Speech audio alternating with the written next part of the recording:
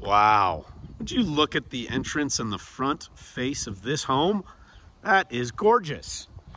We're here today at 60982 Woods Valley Place. That's Bend, Oregon. And we're in the southwest uh, section of town in the River Rim neighborhood to showcase this Tamarac built home uh, from 2006. It is gorgeous inside. Are you looking for private office, chef's kitchen, vaulted ceilings, amazing wood floors, awesome finishes, I mean even wood framed windows.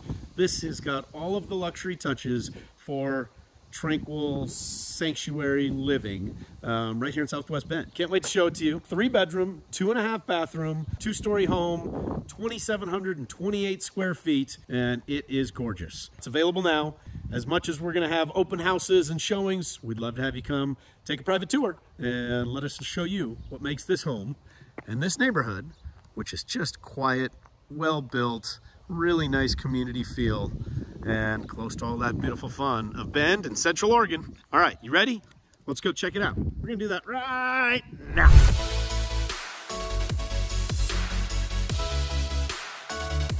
All right, so as we make our way in up the uh, driveway, past the two-car garage, nice welcoming entry, and I think this is my favorite part of the house. Look at those archway doors. Is that custom? Is that just that unique touch that makes it a little different than everyone else? And I really enjoy the space you get to walk into. Do you see this? I mean, vaulted ceilings, grand entrance, excellent wood trim finishes that really accent the, the finishes of how this place is set up and the space here.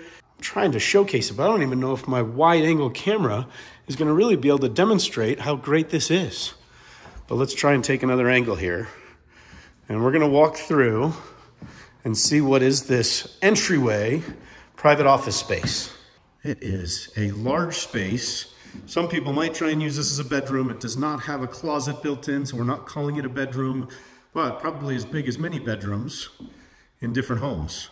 And then the closet, which is your entry closet, comes including the smart connection center. So the house pre-wired for all of your security, safety, smart features.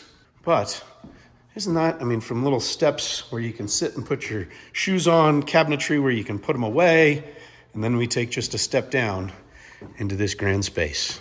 Do you see the feeling that you get when you walk into this home is it's like transformational.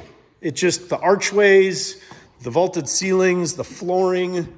Obviously the furniture is not designed to come with it, so you got to picture your own how you would set it up. But the windows from above coming in with this light, it really offers something that I think is unique and really just a great feel. And a little separation created to the dining room space and that beautiful kitchen. Do you see this? As I often say in my videos, kitchens can sell a home. Let's try and give you a good view of how this kitchen is set up. Jenn-Air appliances throughout, luxury accommodations for that chef's kind of kitchen dream. You've got a huge two-tiered island with great uh, space to kind of view what's going on in the rest of the house. Double ovens, a built-in desk off of the uh, off the space here, which just adds another touch of how do you use your home and what do you do with that space? We've got a nice first floor powder room with some nice kind of appointments. Love that sink. Just kind of one of those nice little touches that make it unique. And then right off the uh, entryway, We've got a nice uh, laundry room with space for the counters, cabinetry, your washer and dryer, and then we'll go back to the garage here in a little bit. Uh, but is that not just an awesome use of this space and well laid out for entertaining and also quality of life? All right, let's go view upstairs. I'm gonna take the walk up the stairs together because I think it's just a great feel as you transition to the bedroom space at the next level. So we'll come up to a nice landing area, gives it uh, kind of a separation from the primary suite on one side to the two other bedrooms, as well as a little nook at the top of the stairs. Is that where you put a love seat? Is that where you put a desk? I guess it depends on your needs for your family. And let's just take a moment and actually look at up with this upper view, the windows and the space to the entryway, the space to the family room. We've got a uh, bathroom in the middle here. It's got uh, tub shower, toilet, as well as uh, dual sinks, Very convenient to share when it comes to the two bedrooms here. So guest rooms, family rooms. I don't know how you'll use it, but very spacious. And as big and nice as that bedroom is, I think this one's even bigger. So you got to decide how you want to use that space. But I mean, as I walk in this room, great feeling with the fans kind of creating that nice air. But luxury appointments and how the, the casings and the trim work really accent the windows and the closets. And that uh, shelving unit there is actually built in and stays with the home. So now let's enter this primary suite, kind of set up as an entryway that's kind of got a foyer as you come into this really unique, cool bedroom space. And you can see the trees whistling in the wind outside. You've got a built-in uh, fireplace there that is a electric accent. Um, we'll come off of one side here to, there is one walk-in closet. And I would say that's appropriate sized one. And we'll turn around and we kind of make our way to the bathroom. That soaking tub, that walk-in tall vaulted shower, uh, as you see, two sinks to give us the space. Behind this door is the uh, primary bathroom facilities. So you've got some privacy built in there. You've got the other sink, you know, across from it. So everybody's got their own counter space. And then we walk into the second closet, which I think might even be a little bit bigger. Let's go in it, just because it is pretty spacious. So, as I often say, it seems like there's always two closets and they're not exactly the same size. Which one do you get? Do you get the bigger one? Do you get the smaller one? How does that fight go in your house? Well, let's go out and check out the rest of the property out in the backyard. Let's go. All right, we're walking out of the back of the main floor here out into this backyard oasis. Some people would call it a sanctuary. And the reason I think that, let's take a quick uh, approach. How about this back deck? Right now we're sitting in the shade. In the evenings, you probably get a little bit more sunshine, but a great place with all these amazing landscape trees, kind of helping create that privacy from the neighbors. You almost can't even see that that's the neighbor house back there. And we'll walk over to this side. This lot is uh, 0.13 of an acre, about 5,600 square foot uh, lot. So not a lot of work, you know, it's kind of most of the house with enough space to really be able to come and kind of set up uh, a backyard kind of hideaway. Um, barbecue is uh, set up for natural gas, um, so you'll be able to kind of have your gas barbecue all set up. And then we come off to this side, and again, yeah, your neighbors are close, but you've got quite enough separation. And I don't know about you, hot tub space, uh, space for your outdoor activities, kayaks, rafts, bikes, skis. I don't know what you're going to use it for, but there's some potential for a little bit of setting it up your way or you just keep it the way it is. Simple living. And sometimes when you're in Oregon, it's nice to be able to come and go without a whole lot of maintenance on your property. So here's one of those great spots. Fantastic house, great neighborhood, super convenient to, what do we say, trails. We've got uh, river access. Uh, we're about a block away from the uh, Brookswood uh, Square. So grocery stores, literally like a block and a half away, coffee shop, wine bars. Uh, we'll go check that out in a minute. Uh, but let's go check out the garage real quick and make sure you see all the benefits of this property. All right, let's go. All right, we're walking off the uh, back of the kitchen where that laundry room was. We're coming down about three steps into this great two-car garage. And I don't know if you noticed uh, as the door was going up, but a nice shelf set up there for some of your uh, belongings. That's always nice when you got that extra storage space. Um, you've got kind of a nook built in here, so what are you going to use that space for? Is that where all your sports equipment goes? Is that where your workbench is going to get set up? Is that just space that you need? And then that notch that's built into the garage there, that's smart construction. They put all of the equipment in one space and make it very accessible uh, as the kind of best way to set it up. So that's a pretty good idea of what the house is. Now let's go check out the neighborhood. Let's go check out the parks, some of those amenities we talked about. Let's go see what else we can find as we uh, look at this house in this neighborhood. Let's go.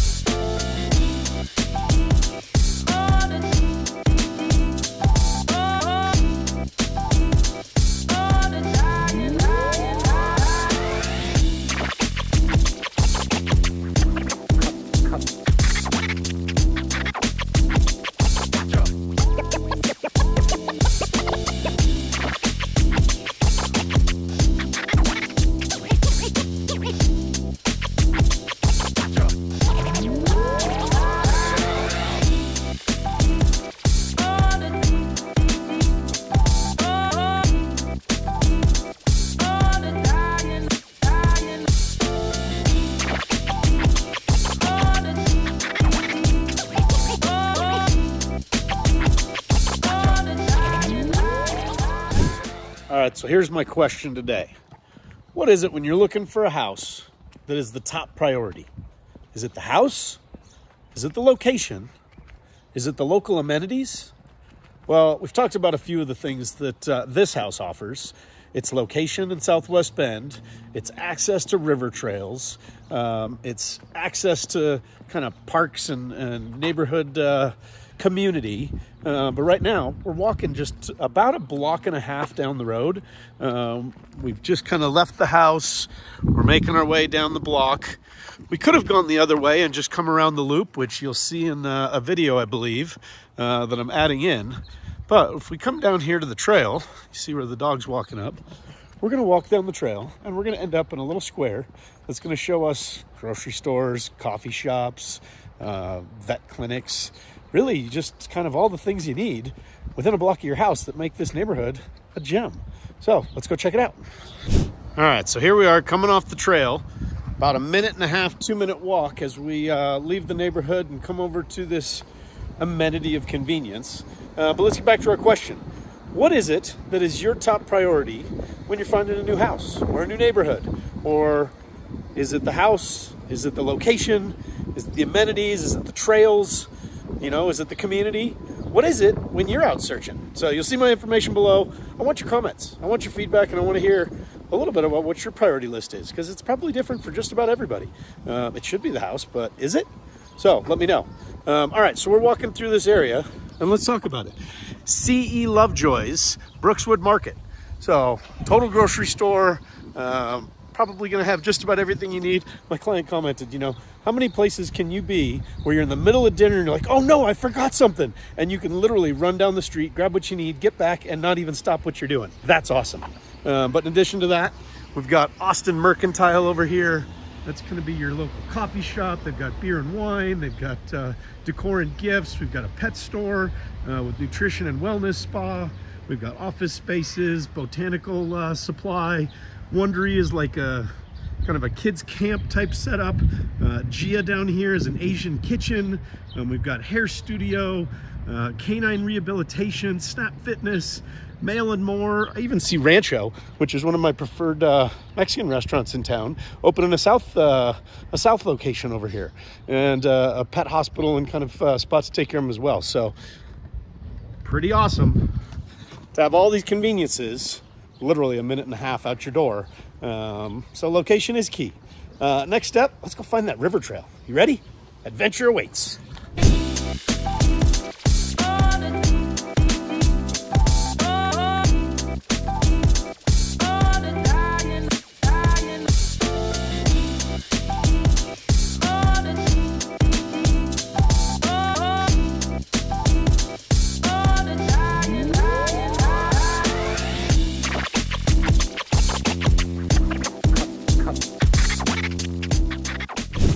Don't know if you can hear it in the background, but we're making our way down the Deschutes River Trail.